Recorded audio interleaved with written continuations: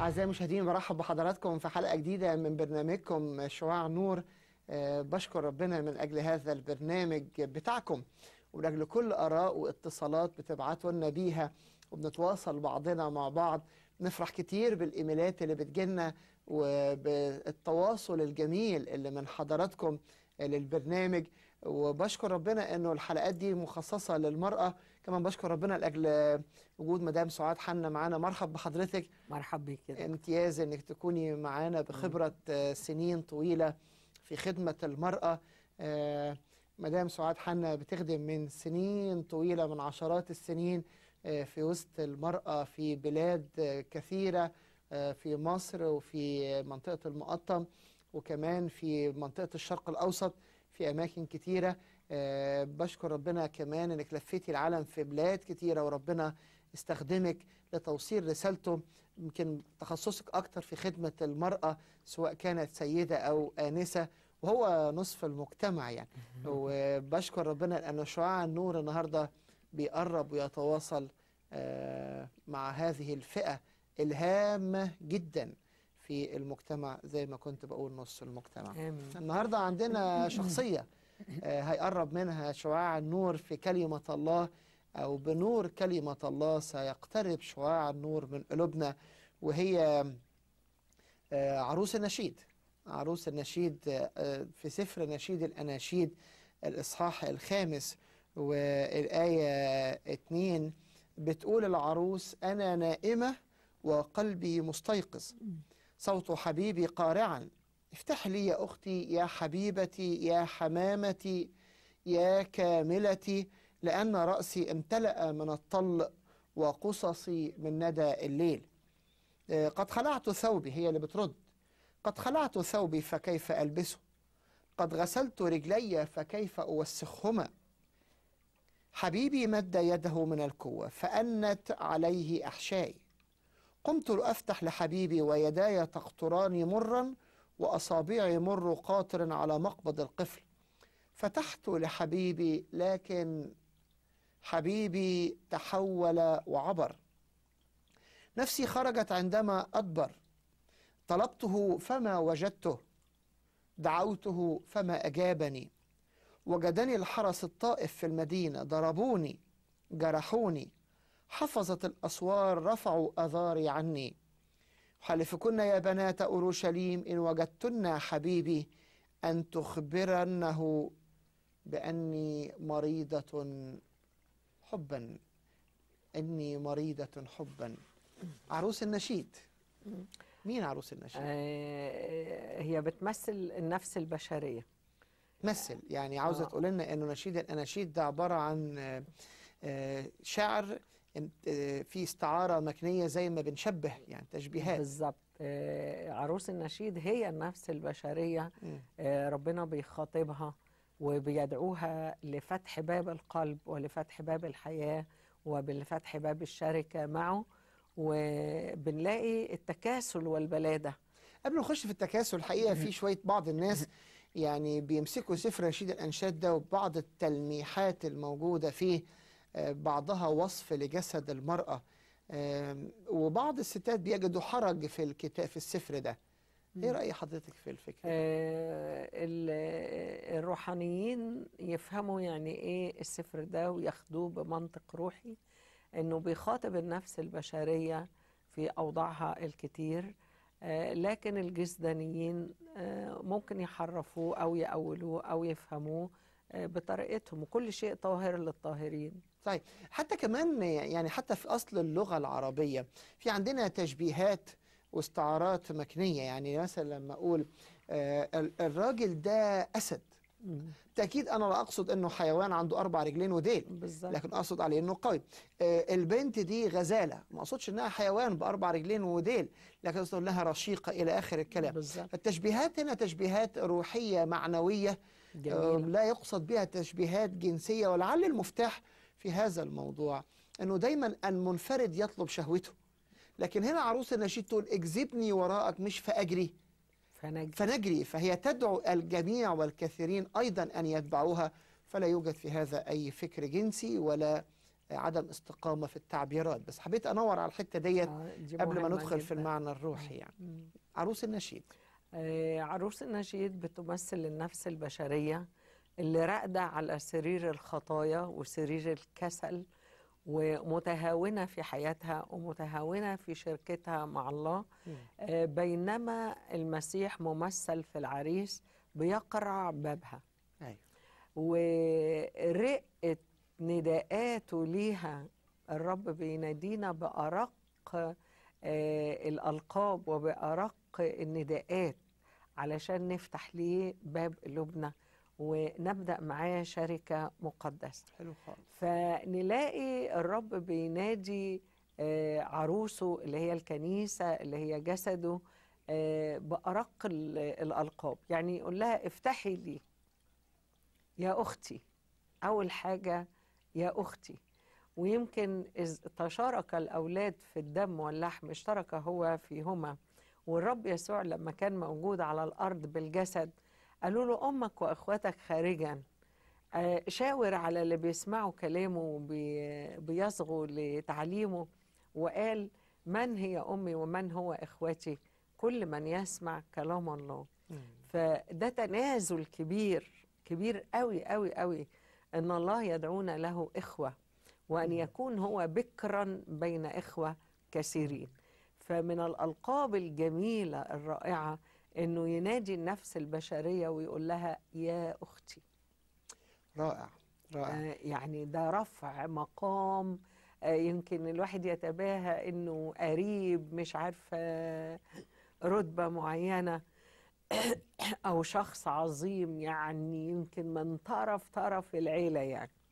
يعني الله النهارده بينادي كل واحدة آه، أخت بيقول لها يا أختي. امرأة فقيرة مسكينة كل مظلومة نفس مهمشة. بشرية. رائع. كل نفس رائع. بشرية. آه، تاني حاجة يقول لها افتحي لي يا أختي يا حبيبتي.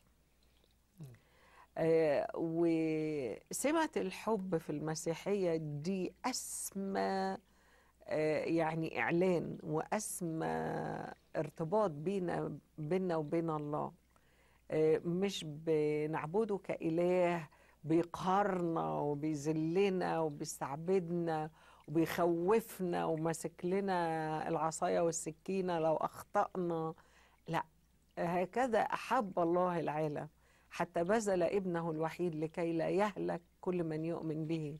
تعبير حبيبتي ده الحقيقة مهم أنا مش عارف كم حد بيسمعنا يقدر يقول ياه التعبير ده أنا ما سمعتوش من أب ولا من أيوة. أم ولا من زوج يا حبيبتي آه. آه، لكن هنا المسيح بيقوله لكل نفس بشرية يا آه. حبيبتي حقيقي يعني بالحب بيجذبنا يعني مم. وقال كده لا أعود أسميكم عبيد بل أحباء ويقول كده صرت عزيزا في عيني مكرما وأنا قد أحببتك كمان يقول إن المحبة دي مش وقتية ولا لحظية ولا موسمية ولا من أجل حاجة حلوة فيا لكن محبة أبدية. أنا صحيح. وحشة بيحبني أنا واقعة بيحبني أنا آه، برضيه بيحبني أنا بعيد عنه بيحبني أنا قريبة منه بيحبني. ودي المحبة الغير متغيرة والغير متقلبة اللي بت- بتعمل جوانا أزمات نفسية من البشر. لكن محبة الله ثابتة. ثابتة. والتقلب شيء مؤلم على النفس. لكن النفس اللي ترتبط بربنا تحس إنه محبة أبدية محبة ثابتة محبة غير متغيرة بتغير. آه، حياتي ده اللي اتهلل بيه المسيح مرة في وسط التلاميذ. آه، صيادي سمك وغلابة ومساكين ومهمشين ومرفوضين من المجتمع. وزقطت كده وتهلل بالروح وقال الآب نفسه يحبكم. مم. دياس كبير قوي قوي إن الواحد يشعر إن الله إنه محبوب. النفس البشرية قال لها يا أختي يا حبيبتي. هنشوف قال لها إيه كمان بعد كده آه، في دروس جميلة من شخصية آه، آه، هذه المرأة آه، في سفر نشيد الأناشيد آه، المرأة اللي قال عليها يا أختي يا حبيبتي وهيكمل يقول يا حمامتي يا كاملتي. وهنشوف مع بعض كمان إيه الغلطة اللي وقعت فيها هذه النفس وده بعد الفاصل. خليكم معانا عشان شعاع النور النهارده هيقرب وهيقيمنا من كسلنا ومن تراخينا في جدة الحياة. خليكم معانا فاصل ونرجع بسرعة.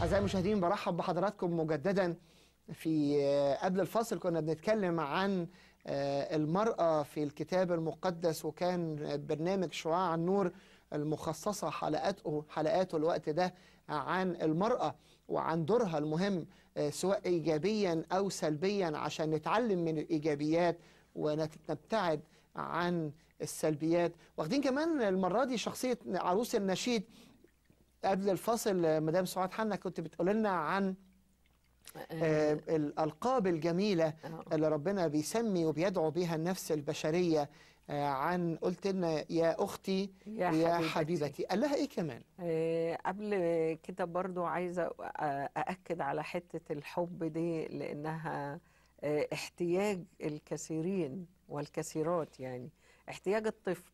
واحتياج المرأة واحتياج الرجل ويمكن آه، عدم وجود الحب أو عدم التشبع بمحبة الله بيدفع النفس البشرية أنها تسلك مسالك خاطئة وبحثا عن الحب. وبتتعرض وبتتورط آه، لمشاكل صعبة جدا أو آه، أخطاء فظيعة جدا.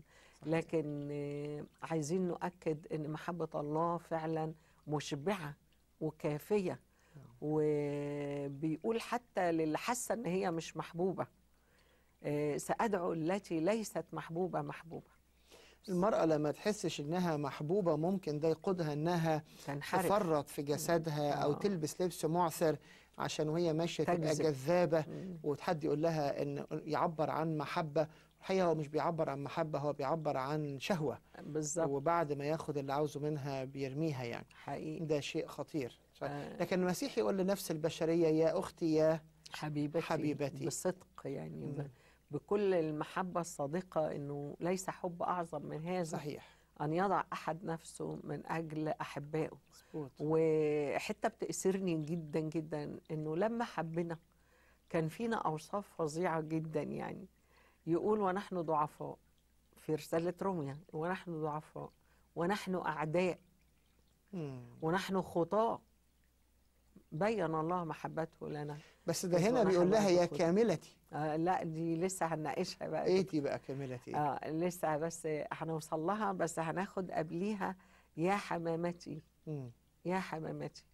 آه الحمام رمز الطهر ورمز النقاء ورمز العفة وكأن المسيح عايز عروسه وعايز النفس البشرية آه تكون يقول لها كده عيناك كالحمامتا كالحمام على مجاري المياه. يعني مغسولتان باللبن. عايزين العينين اللي اتغسلت باللبن الذي يشير إلى كلمة الله وتنقد بالكلمة من كتر ما بنبص في الكلمة وبنقيس نفسينا على الكلمة آه، عيوننا صارت نقية آه، تبقى نقية كالحمام. الحمام اللي بيتميز بالبساطة. مم. آه. بس آه، عايزين آه، مع البساطة أيضا يكون في الحكمة. صحيح. بسطاء كالحمام حكماء حلو خالص. لكن بسطاء كالحمام. آه عايزين نتكلم عن العين البسيطة. وإن كان العين بسيطة الجسد كله يكون نير. يعني إيه عين بسيطة؟ مش فاهم آه، يعني لا تنظر للشر ولا تنظر النظرة الشريرة. ولا النظرة الفاحصة للجنس الآخر. لكن العين البسيطة اللي ترى الأمور ببساطة ما يبقاش حد بيقول حاجة أو بيعمل حاجة وأفضل أنوعها وأظن السوء فيها وما يكونش فيه النظرة البريئة أو النظرة الفاحصة للجنس الآخر زي ما قال أيوب كده عهدا قطعت على عيني أن لا أتطلع في عذراء. والمسيح نبط على الحتة دي قوي وما قالش قيل لكم لا تزني أما أنا بيطورنا وبيرقينا وبيعدلنا وبيرفعنا وبيرفعنا ويقول أما أنا فأقول من نظر واشتهى طبعا هو بيقول أيوب. إنه لا أتطلع مش إلى عذراء لكن في في عذراء. عذراء. يعني مش ربنا عاوزنا ما نبصش للستات تبقى يبنى بيننا وبينهم حيطة يعني لا ليست النظرة الفاحصة. بالظبط نظرة الغير مقدسة الفاحصة أيوة. واختلاس نظرات لا تليق يعني. أيوه. جميل حلو خالص. حمامتي. آه، آه، ده معنى يا حمامتي. حلو خالص. عايزك بسيطة نظرتك بسيطة فكرك نير فكرك بسيط. حلو. الرابعة؟ الرابعة يا كاملتي. منين بقى كاملتي؟ ومنين آه، آه، آه، أعداء فين الكمال مم. فين الكمال هو مش الكمال لله وحده ولا ممكن إحنا آه، كمان نكون كاملين هو طلبنا بأننا كونوا كاملين كما أن أباكم الذي في السماوات مم. هو كامل هل الكمال هو العصمة ولا العصمة ده لله بس يعني يعني آه. الكمال لا خطية آه لا الكمال هو أن نسعى نحو الكمال وهو اللي وعد أن يكملنا يثبتنا ويكملنا يعني اذا العصمة دي لله بس أكيد. يعني اللي هو لا خطية أكيد. لكن الكمال إن أنا طول ما أنا عايش أسعى لعلي أدرك يعني بأسعى طول لعلي أدرك جميل إذا. إذا مش. مقصود بإن أنا أكون من غير خطية لكن إذا سقطت أقوم وأتعلم الدروس وأصنع ثمار طريق آه، بالخير. حقيقي بس هنا هل ربنا بينادي النفس البشرية بالكمال آه، رياء ولا عدم صدق ولا إيه بالظبط يعني. آه، بعتقد إنه بيأمل أو. هدفه أو شهوة قلبه أن نكون كاملين. وتشجيع في. طريق الكمال. يا رب أنت بتقول عليا كاملة وأنا كل نقائص وكل ضعفات سأسعى بنعمتك آمين. نحو الكمال. آمين. آه، فبعتقد إنه آه، النداءات دي اولا رقيقة جدا ومشجعة جدا ومحفزة أيضا جدا آه، للوصول آه، لنصل إليها لنصل إلى الصورة اللي عايزنا نكون أمين. فيها. امين اذا آه، أربع حاجات أربع آه، ألقاب. آه. اللقب الأول آه، يا أختي يا حبيبتي حبيبتي يا حمامتي حمامتي يا يا كامل كاملتي. آه. إيه الغلطة اللي كانت وقعت فيها أنا عروس النشيد؟ أنا مش قادرة أتخيل يعني قدام الرقة دي كلها وقدام. قدام الحب ده كله يقول لها افتحي لي هي ترد عليه برخامة. وبتكاسل وبتباطؤ في الحب. يعني عايزين نقول كده أو عايزين نصل إلى اللي قاله معلمنا يوحنا ونقول نحن نحبه لأنه. هو أحبنا أولا. إيه التكاسل؟ يعني هي خطية التكاسل؟ آه، أمال إيه؟ يعني لازم نكون مجتهدين والرخاوة لا تمسك صيدا وكتير يد المجتهدين تغتني. لكن هي في تكاسل. قالت ياه غسلت رجليا. هوسخها تاني. أيوه. وخلعت توبي هلبسه تاني. هي نسيت إن غسلها لرجليها ده لا قيمة له. لكن نسيت إنه إن لم أغسلك لا يكن لك معي نصيب. وهل الإنسان يقدر يغسل نفسه؟ وهل الإنسان يقدر يستر نفسه؟ يعني هي بتسعى إنها تكتسي أو تستتر أو تغتسل. ده ده مجهود شخصي ده مجهود ذاتي. باعمالي ليس لي خلاص. أيوه ليس بأعمال كي لا يفتخر أحد. صحيح, صحيح. لكن عايزين النعمة اللي هي تغسل وتطهر وتلبس وتستر. طب ما آدم حاول يستتر بأوراق التين. إيه، ما سترتوش صحيح. لكن كان محتاج قميص من جلد. يلبسه إياها الله. لولا إنه يستتر رمز ذبيحة وفداء يعني. بالظبط إيه يا ترى إيه الحاجات اللي يعني أي واحدة ست ممكن أو آنسة أو راجل أي نفس بشرية إيه المجالات اللي ممكن النفس البشرية تكون بتتكاسل عنها مم. يعني بنقول في القداس نقول وتكاسلت عن حفظ وصاياك أيوه إيه الكسل ممكن آه، يخش في انهي حضرتك مجال أجبت النقطة الأولى من مم. التكاسل إيه هي بقى هي التكاسل في حفظ الوصية مم. آه، أو آه، الإحساس بصعوبة الوصية مم. أو ثقل الوصية. لكن بالحب يعني مش هقرأ في الكتاب كل يوم؟ لا مش مش هقرأ مش هقدر أنفذ ده الكلام. ده صعب. آه، زي ما مجموعة من اليهود قالوا للمسيح كده هذا الكلام صعب من يقدر يفعلوا يعملوا يعني.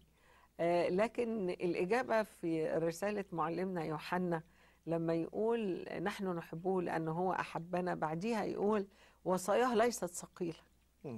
يعني اللي بيحب ما بيحسش بتقل الوصية. يعني أنا يعني بتخيل مثلا ضيف محبب جدا آه، قد إيه بنبذل قد إيه بن- بنبقى عايزين نقدم له أحلى حاجة آه، أو أصعب حتى أكلة ممكن آه، تقدم. أو اللي بتاخد وقت أو اللي بتاخد مجهود. على العكس لو شخص غير محبوب بيبقى كوباية الشاي ثقل أوكي. اذا أول حاجة قراية كلمة ربنا إيه تاني المجالات اللي ممكن نتثاقل فيها؟ نت... آه، آه، في الأعمال الصالحة اللي سبق الله فأعدها لكي نسلك فيها. يعني في اهتمامي بالفقراء الغلابة المساكين. بأهل بيتي ب- بكل حاجة آه، كل مجال. بتوجد فيه. إيه تاني الكسل ممكن يدخل إلى مجالات؟ الكسل في كل ممارسات وسائط النعمة. مم. كل ممارسات وسائط النعمة. ذهاب للكنيسة جسد المسيح ودمه. آه كل الممارسات أو كل وسائط النعمة بيبقى فيها عملية تكاسل مم. أو عملية تأجيل للتنفيذ يعني. حاضر هعمل بس قدام شوية. حاضر هعمل بس لما تتحل المشكلة دي. آه ماشي هصلي بس لما أصحى براحتي. آه يعني طب لما أقضي مصالح البيت الأول أو المشاوير الأول؟ آه ده عملية. هل التكاسل عن الكرازة يخش تحت الجانب ده؟ آه. زي إيه؟ حقيقي يعني إذا الضرورة موضوع عليا فويل لي مم. كنت لا أبشر. والساعة اللي أنا بين إيدي عشان متاح لي إن أنا أشهد أو أكرز. آه، ممكن ما تتكررش تاني. صحيح. عشان كده معلمنا بولس يقول لتلميذه تيموساوس اكرز في وقت مناسب وغير مناسب. مم. ووصية تانية يقول غير متكاسلين في الاجتهاد. غير متكاسلين لكن يكون آه، كل ما بنعمله آه، بنعمله باجتهاد صحيح مم. الانسان المجتهد آه، حتى على مستوى علميا يعني أيوه أو ماديا ماديا. على مستوى علميا معروف طبيا إنه في مرض مشهور خالص اسمه الزهايمر اللي هو يعني بتاع للذاكرة فقدان وفقدان الوعي. الذاكرة وكده. معروف إنه لو الشخص هيجي له عند ست مرض عند سن 60 لو هو شخص نشيط يتأجل ل 70 كل ما كان الفوق إنسان نشيط في ذهنيا وفي طريقة طبعاً. تفكيره دي معلومة طبية آه، جميلة يعني. فبيتأجل. يعني المرض ده بيجي بيتأجل طبعا لسه ما زال في أبحاث كثيرة في الموضوع ده. لكن الشخص المتكاسل أنا شايف كمان إنه مش مدرك إن الوقت ده وكالة بالنسبة له. بالظبط. وفي يوم من الأيام هيجي ربنا يقول له أعطي حساب آه، وكالتك. هل خسرت عروس النشيد شيئا؟ آه ده خسرت خسارة كبيرة قوي. إيه الخسارة؟ آه قبل ما المسيح يفارقها آه مد إيده من القوة. مم. وأنا بعتقد وهي ابتدت في ال في ال في الأمر ده آه، تتحرك أحشائها الجامدة. مم. يعني هو قدم لها محبة وابتدى ياخد خطوات عملية لكن هي آه وبعدين آه، هو لما مد إيده من القوة أنا بعتقد إن دي الإيد اللي ثقبتها المسمار اللي ثقبها المسمار وذا الان وقت مقبول اليوم يوم خلاص إن حقيقي. سمعتم صوته لا تقصوا كل قلوبكم. حاجة في الدنيا تتأجل وتتعوض إلا فرصة التوبة مم. وإن سمع أحد صوتي وفتح أدخل إليه أتعشى معه وهو معي ويكون ده بداية التغيير وبداية الحياة الجديدة مع الله قبل ما نسيب الحتة دي لازم نقول إن المسيح اللي أنت ده الكلام ده للناس المؤجلة أو اللي بتتهاون أو بتتكاسل آه، بتستهين بقرعات المسيح. إن لم نفتح له سوف نقرع بابه في الأبدية ولن يفتح لنا. خطير. ناس كتير هتخبط وتقول له يا سيد يا سيد افتح لنا. زي الجاهلات. أيوه. اذهبوا عني لا أعرفكن. خطير. آه، يا سيد آه، آه، كنت بتعلم في شوارعنا كنت بتاكل عندنا كنت يقول لهم لا أعرفكم مم. اذهبوا عني يا ملاعين. فإن لم نفتح للمسيح اليوم هو كمان مش هيفتح لينا في الأبدية. صحيح. وزي ما هو واقف على باب قلوبنا النهارده بكرة هنقف أمام كرسي المسيح. آه، مستمعينا الكرام آه، أتوسل إليكم إنه تقدروا وقفة المسيح على باب القلب وقرعات المسيح. والمسيح بيبدأ بقرعات هادية لطيفة وبعدين آه، بتزداد وربما توصل لقرعات عنيفة. بس الهدف مش إنه يعاقبنا لكن الهدف إنه يصحينا مم. ببساطة شديدة لو حد بيخبط على باب واللي جوه البيت ما سمعوش فبيضطر يشد في الخبطة آه، إن ما كانش بي- بيخبط آه، آه، ب- بطريقة أقوى علشان اللي جوه يقدر يسمع محتاجين نصلي في نهاية الحلقة دي نقول له يا رب آمين. أعطيني أن أكون مثل هذه النفس بس في نشاطها بقى. لما قالت بعد كده إني مريضة حبا.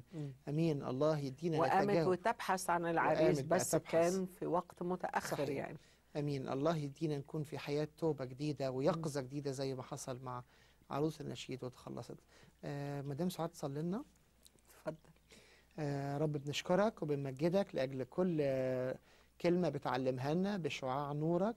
وبتوصل إلى قلوبنا من خلالها عشان تعمل نقلة جديدة في حياتنا. أشكرك لأنك فتحت عينينا النهاردة أنك بتحبنا وشايفنا أختي حبيبتي حمامتي كاملتي.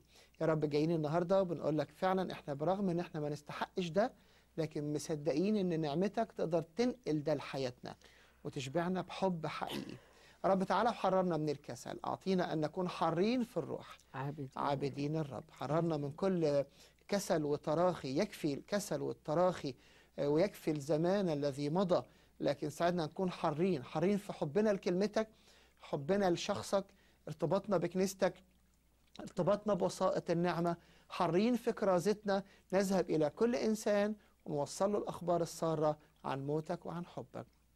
بشكرك لأن روحك سيذكرنا بكل ما قلته لنا. بنحبك وفي اسمك بنصلي. آمين. أعزائي المشاهدين باسمكم بشكر مدام سعادة على كل نقلة ربنا نقل بينا وكل شعاع نور وصل إلينا من خلال كلمته وعرفتنا عنه النهاردة عشان نتمتع بهذا الشخص الرائع ويصير المسيح. شعاع نور لكل قلب فينا. آمين.